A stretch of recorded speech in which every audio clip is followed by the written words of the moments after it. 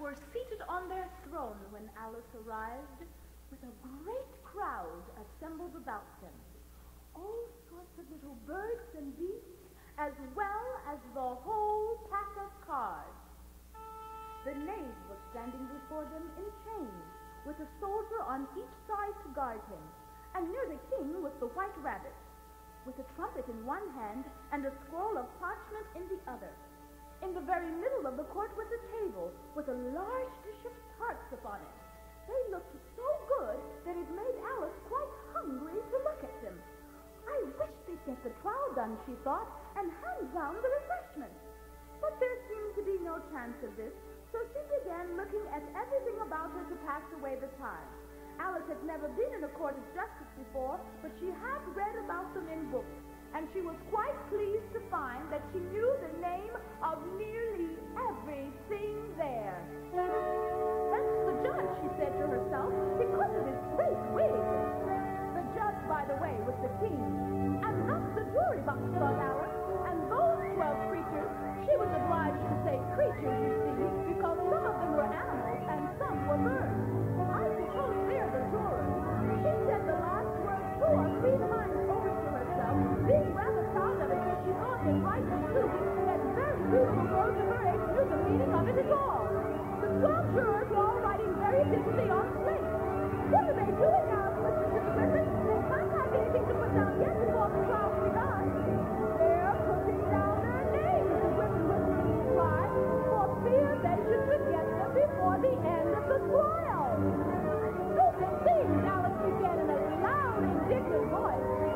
she stopped herself hastily,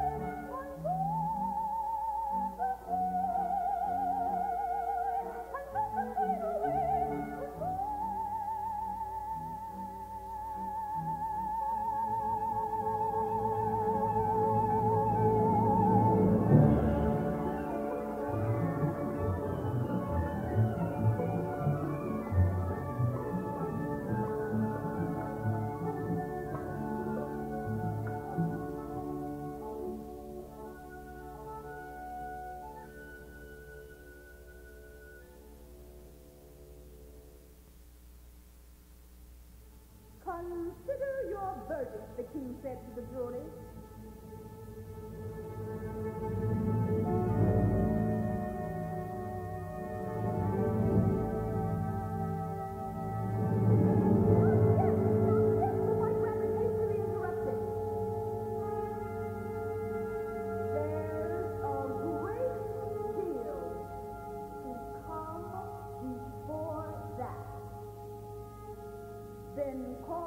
first witness, said the king. Just at that moment, Alice felt a very curious sensation, which puzzled her a good deal until she made out what it was. She was beginning to grow larger, and she thought at first she would have to get up and leave the court. But on second thought, she decided to remain where she was as long as there was room for her.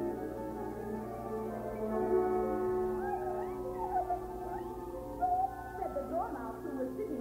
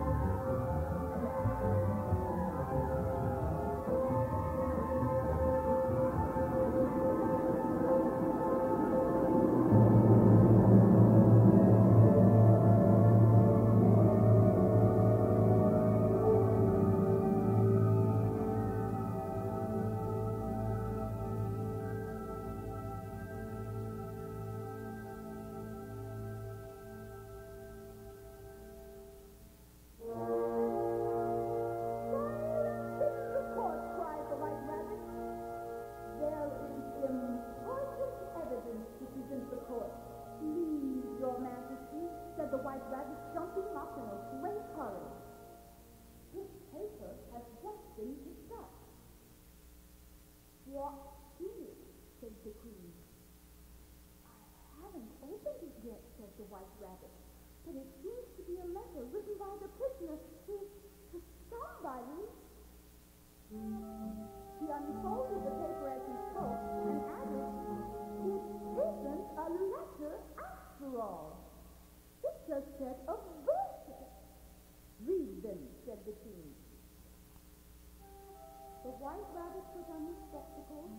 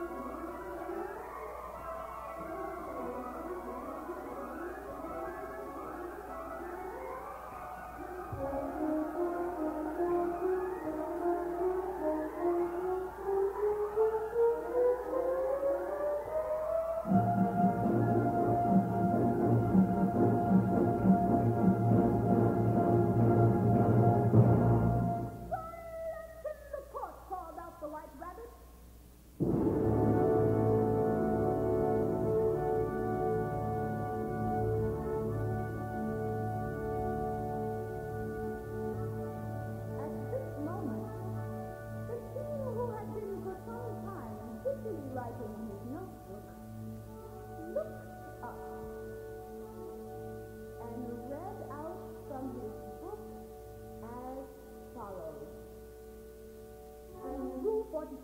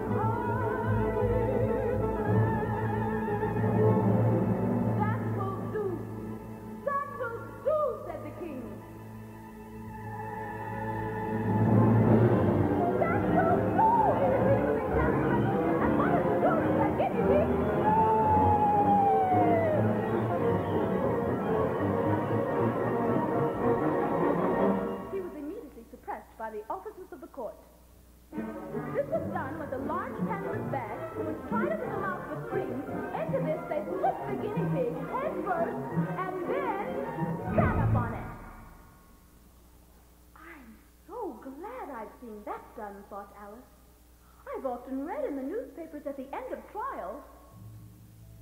There was an attempt at applause, which was immediately suppressed by the officers of the court. And I never understood what it meant till now. Let the jury consider their verdict, the king said, for about the twentieth time that day. The jurors, or rather jury creatures, when they heard this, jumped up and with their rushed, or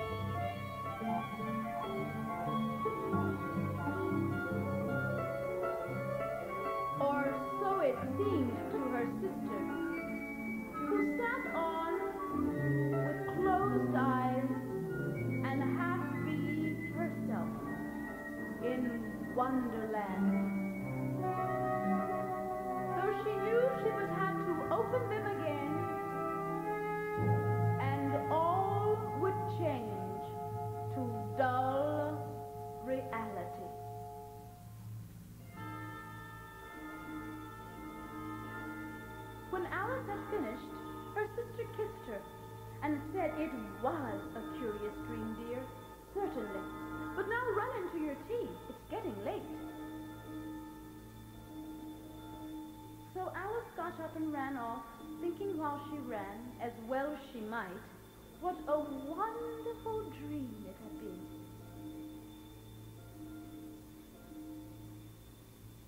But her sister sat still, just as she left head on her hand, watching the setting sun and thinking of little Alice and all her wonderful adventures.